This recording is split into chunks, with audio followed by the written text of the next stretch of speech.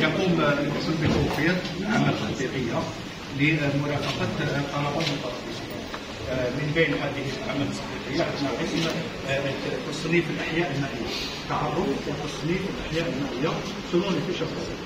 القسم الثاني هو دراسه البيولوجيا ما نعرفوا العلمية. قياس نظم التشريح دراسة عمر السمكه تنفس الجهاز التنفسي في تحت فيها في مزرعه تربيه المعيش القسم الثالث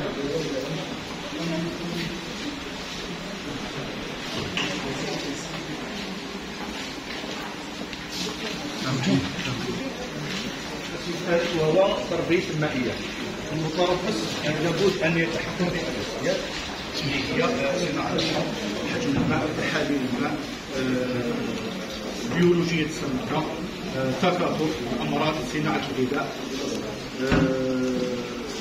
باش يقدر يدخل في تربية المائية ونرافق هذه المستعملات بأجهزة حديثة لقياس تحاليل الماء أو سرعة الغذاء أو لتعرف الأمراض أو تكاثر عملية التكاثر كالكيرابيا عملية